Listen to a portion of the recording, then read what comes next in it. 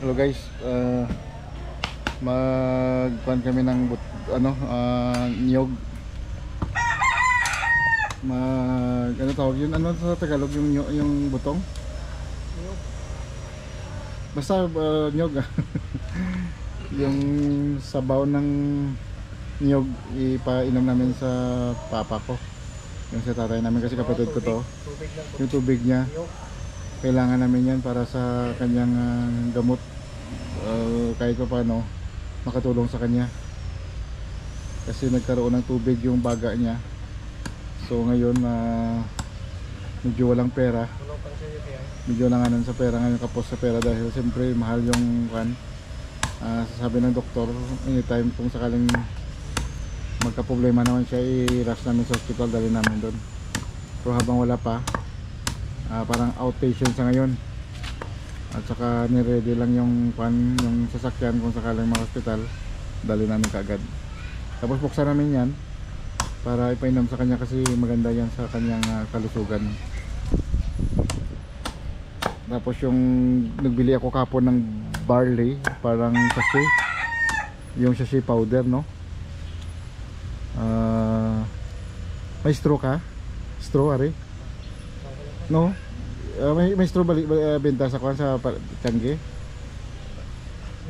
O sige, ah? To. o sige tabi mo lang dyan tabi mo lang dyan tapos o sige sige bigyan mo siya ng straw wag mo na i- i- ibigay mo sa kanya yan Yan, okay na. Sabi mo lang yan yan. Tapos, uh, pumuksan mo lahat. Pumuksan mo lahat. Yung mga nyog yan dyan galing sa taas. Oh. Ayan o yan, mga nyog dyan. Saka dito sa kabila, yan. May nyugan kami dito sa loob ng aming ah, bakuran. Ano nyog dyan. Tapos ah, yan ang inamin namin. Mag- Maganda yung sabaw ng ano to eh, ng yung sabaw niya. Yung katas niya. Maganda yan sa ano, sa kalusugan. Mga lugar. Mm, yun ang kaya sabi ng kaibigan ko eh, pag ah, may tubig yung baga, yung baga, pailumin ng ganito. Makatulong at saka yung barley na kung ano na powder binili namin kapon sa Robinson nasa 1.5 yung price niya barley yung powder Ah, tapos mga 30 sachet yung isang sachet ah, isang cup ng tubig. So yan ang ipainom daw 30 minutes before siya mag ah, breakfast sa umaga o mag-almusal sa umaga. Maganda raw yan sa, sa may mga tubig sa baga. At saka hindi lang yan. Maraming pwedeng ah, magamot yan.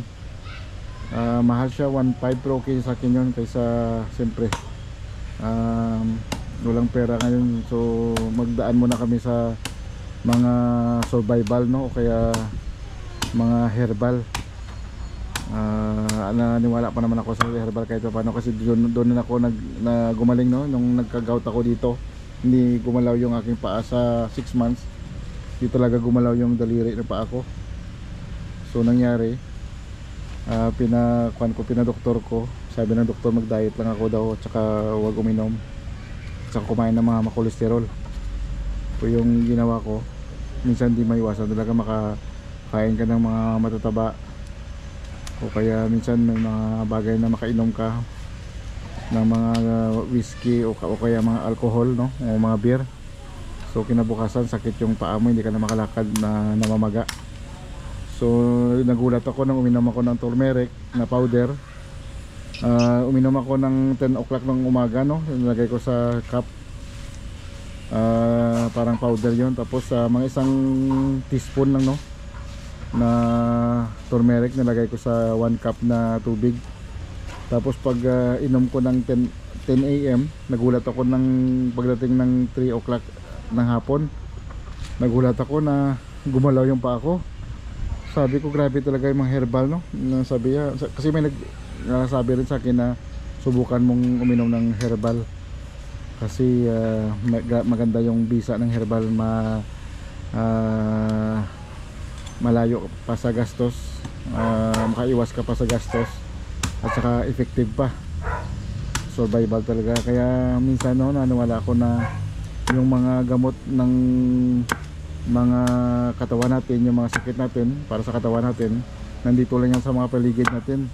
Kaso lang hindi lang tayo marunong maggumamit. Umasa tayo palagi sa doktor. Wala namang problema sa doktor pero lahat naman ng doktor na na binibigay ng gamot siyempre may mga side effect din yun lalo na maintenance. Siyempre ah, kung walang pangbili ah siyempre daan tayo sa herbal no? Pero naniwala talaga sa herbal. Kung may pera siyempre doktor pero habang wala pa ah, try natin sa herbal. Pero talagang ah, umasa talaga ako sa herbal kahit paano kasi marami, marami na akong naranasan na mga experience na mga sakit na na, na, na gamot ng herbal. At saka ang bilis ng effective at saka wala pang side effect. So yun. Ah, kaya na uh, pag-usapan natin tungkol sa mga ganyan dahil ah, yung father ko ganyan yung problema ngayon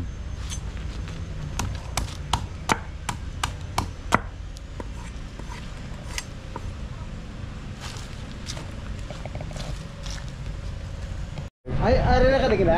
Oo. Ito tao? Saan ligad pa mana? Kainom ko si Papa. Ha? Ha? Yan na, dapat akong tubig. Oh, wait, wait, wait, wait. Laway naman. Ha? Law, ang akong panlaw. Doon na tula? Yuta naman. ah. Doon na feel mo subong sa barley, yung inom mo bang barley? Oo. Doon na na feel mo? Piktibo? ibo. Puga grabe ka man mahal na 1.5 to. Ang pilikabilo. 30 ka 30 ka kuan ka putos. Ka isa ka putos, isa isa ka sachet. Isa ka basis mo imnon kada adlaw. 30 minutes before ka magkaon sa aga. Before. Before magkaon ka grabe Victoria. Tapos inom ka pero may bulog mo niyo. Ano daw yung ako yung doktor ngayon ng father ko. Dahil maganda kasi na dito ako sa Pilipinas so try nating ah, gamutin yung kanyang ah, tubig sa baga. Okay, so gagamitan natin ng ah, mga research at saka talino kung laan lahat ng ah kuha natin no, lahat ng abilidad dito i kuhan ko. I-apply natin. Pero ah pagbalik ko sa UK, kailangan ko pa rin siya na tulungan na kuhan sa financial kung ano mga kailangan. Kasi di- dito ako sa Pilipinas medyo mahirap. Ah, maubos yung aking ah, wala na akong ano, naubos na yung aking ah, budget. Na pocket money ko kaya hindi ko siya basta-basta madala sa ospital. Dahil ah, siyempre ah ah, kung ano ah, pero sa bagay may mga kaibigan naman ako ngayon na gustong magpahiram sa akin kung sakaling emergency na talaga. Dalhin sa ospital.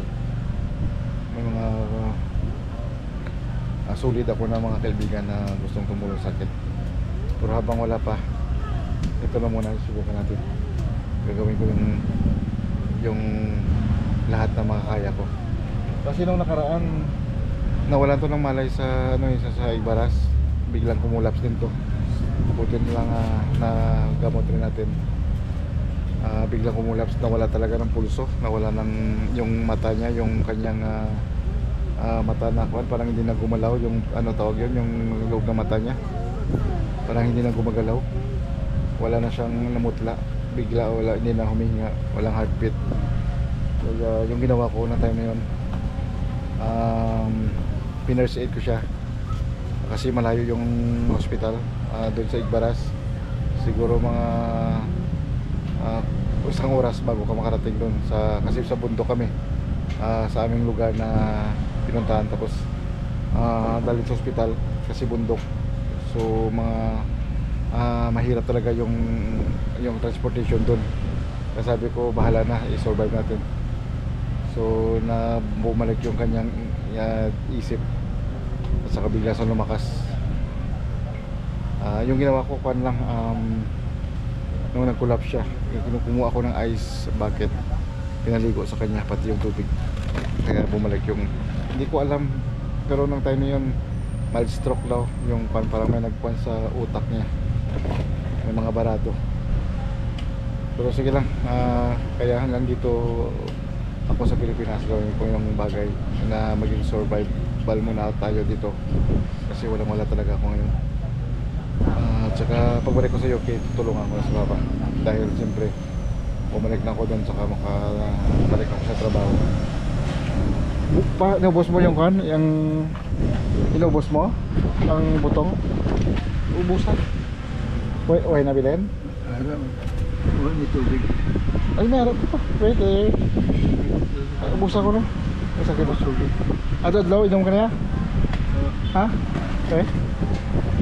Ah, may harap pa. Wait, wait. Hindi karoon ka magutom ka. Inom mo na lahat. Inom mo na lahat. Ano pa? Ha? Inom mo lang ka na lahat pagka... Di ini pa tatlo ka below dito sa. Hindi, ako ni isa. ako ni isa. Try ko man. Kuya. Di na akon. Ay mo. Diba to? O sige na. Ipainom mo na karon siya. Ha? Hindi siya mainom? Ay, kayo naman sa. Hmm. Ata kayo yan yan? Pa? Adlaw-adlaw pa? Inom ka na? Adlaw-adlaw? Ha? Adlaw-adlaw inom siya. Ito pala, kung ano, ah, ah, private ah, car to. Ng, pwede pong gawin taxi to. Ito yung avansa ngayon sa i- Pilipinas o kaya sa Iloilo na ginagawang taxi. Nasa kuhan kasi to eh. Yung ibig sabihin yung may-ari to pinsan ko. Yung kuhan niya yung kanyang ah, ah, asawa na sa Saudi. Kababalik lang. Nurse tapos siya wala naman trabaho dito. Kaya siyempre ah, umasa rin sa asawa yung kanyang ah, buhay. Tapos sa kanya rin to. Ito sa aking motor. Ito ang aking motor. Ayan.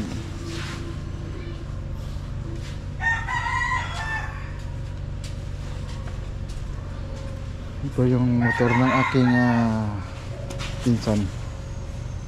Ayan, walang ba? Ayan.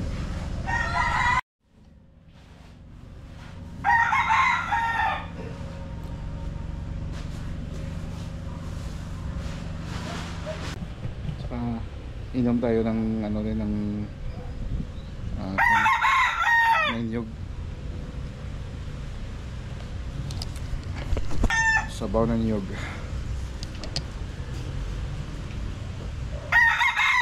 Maganda sa katawan to kaysa uminom kayo ng soft drinks. Ito na lang inumin nyo. Tsaka yung mga kuha namin yung manyog marami yan sa taas. Ayan, kumukuha namin dyan, no? Uh, kuha yan. Ah, hindi naman masyadong mataas. Kasi kuha yan, dwarf, uh, kuha yan, dwarf. Coconut. Ayan.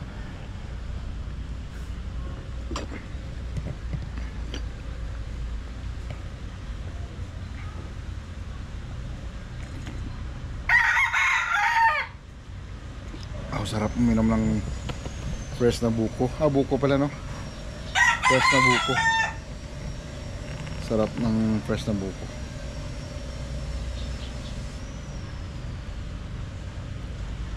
Wow. Alam na may gatas, masarap. Kaso lang siyempre mas um, mas uh, iba pa rin yung fresh na buko kaysa mayroong gatas.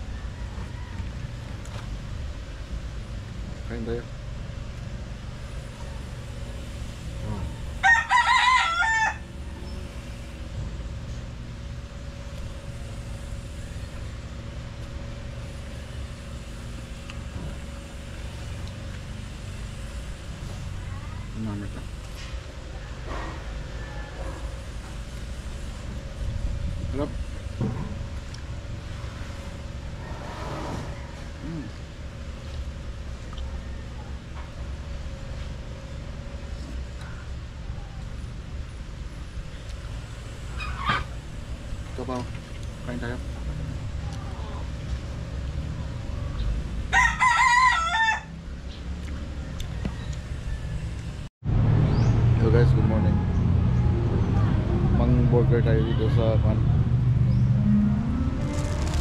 sa Plaza Mulo. Uli binili ko to sa kwan no, sa ano pangalan ng ano? Sa Angels Burger. Diyan sa may ah, kanto lang no, sa may ah, malapit lang diyan sa may ah, plaza no dito sa plaza ibig sabihin dyan sa may kanto lang yung burger na sarap.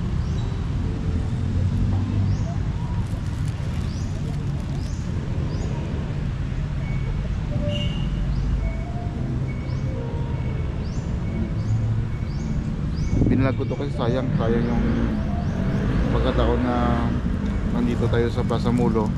Hindi ko na ito mabalikan uli kung hindi na ako makauwi ng Pilipinas. Kasi uwi ako ng Pilipinas siguro mga o kaya babalik ko dito sa Pilipinas siguro mga baka next after year pa no? Siguro mga 2020 25 pa.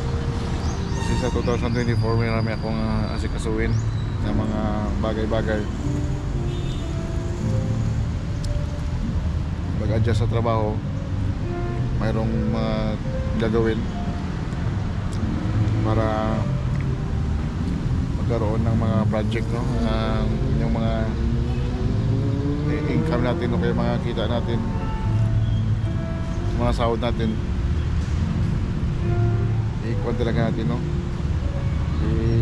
Ilagay talaga sa tamang ah, ah, paggastos o kaya pamamaraan para uh, rin yung buhay natin no? Hindi lahat ng oras maganda yung katawan natin. Saka sa mabuting ka, kalusugan tayo. So i-grab natin yung opportunity na hanggang kumikita tayo. Mag-invest tayo no sa mga negosyo o sa mga bagay na mayroong ah, income. Kasi napakasarap talaga tumira sa Pilipinas pag may ah, income ka kaya may mga tinatanggap ka na ah, income na buwan-buwan no? O kaya araw-araw mas maganda no? Kaya wala nang pinakamasayang ah, puntahan o kaya tirahan dito sa sa mundo kundi Pilipinas. Maganda sa Pilipinas masaya. Basta mayroon ka lang ah, stable na income kung may pera na ako. Ayaw ko nang bumalik ng UK dito na ako sa Pilipinas. Tingnan mo hindi mo ma magawa to yung ginagawa ko sa UK ng mga ganitong upo sa paligid ang, ang ganda ng paligid no? Napaganda ng weather. Ang saya ng mga tao. Kasi kababayan mo. Ang music. May bingka dun. Dulo may bingka. Mayroong ah, patahan dyan. Mayroong mga restaurant dyan ng mga kainan. Mayroong ah, mayroong yung buko juice oh. Baka mamaya uminom tayo ng buko juice. Yung yung chowking nandyan. Ayan chowking Yung Jollibee nandun no? Yung supermart nandiyan no? Kaya wala ka nang hanapin pa dito sa Pilipinas. Nasa paligid mo yung kagandahan. Harap sa paligid. Bawat sulok may mga magagandang mga um, tanawin. Mga kainan. Bibingka oh. tingnan mo. Umu umuapoy pa oh yung bibingka gusto na kumain ako ng bibingka noong nakaraan. Yung kinakain ko ngayon yung hindi ko pa nakain.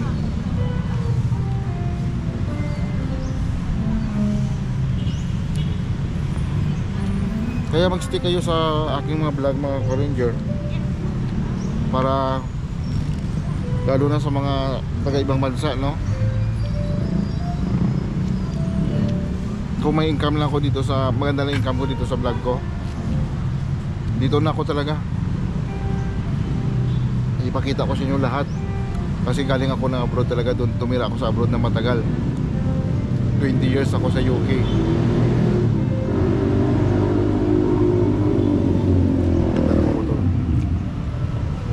So 20 years ako sa, sa UK Pumupunta ako ng mga iba-ibang lugar sa ibang ah, bansa. Katulad ng Europe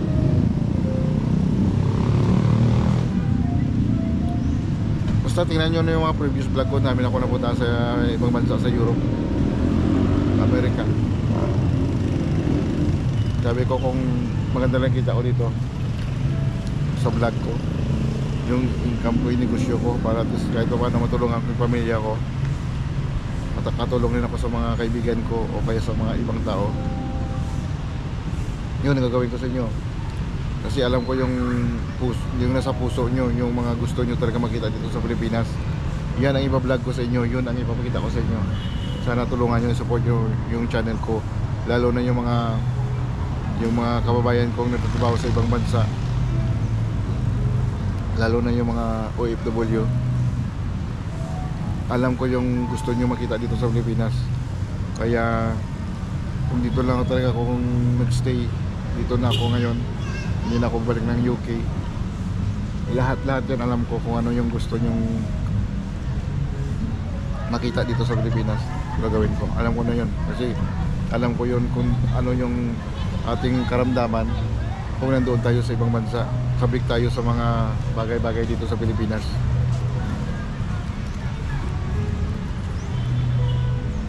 Ang sarap ng buhay dito sa Pilipinas. Tingnan mo Pupupo lang ako dito. May kumakain, may pagkain ko lang, okay na. Relax, relax. Diba? Kaso lang kailangan talaga ng stable na job dito. O kaya income.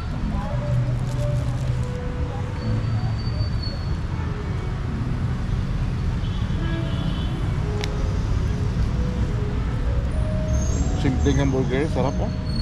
Sabi.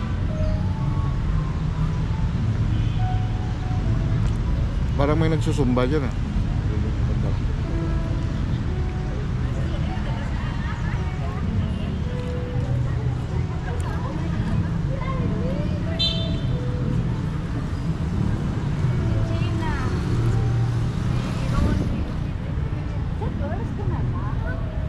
Sarap ng buhay dito.